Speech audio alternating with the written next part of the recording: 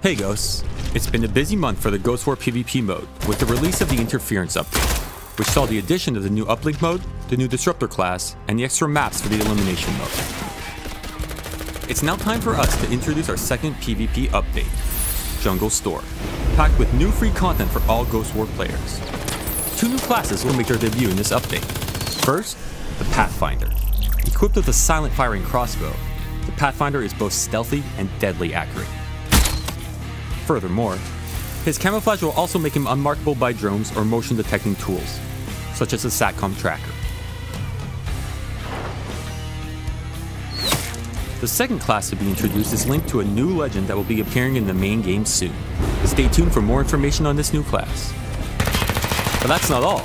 This update will also introduce a ranked mode, where you and your squad will be able to compete against others to demonstrate your tactics and skill, and reach the highest ranks. We can't wait to see you guys fight with your squad to be the best ghosts out there.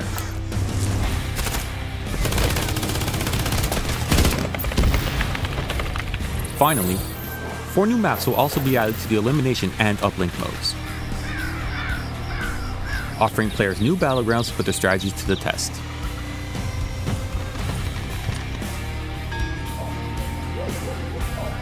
As well as extra weapons that will be added to the loadout of some of the original classes to provide you with more choices and flexibility.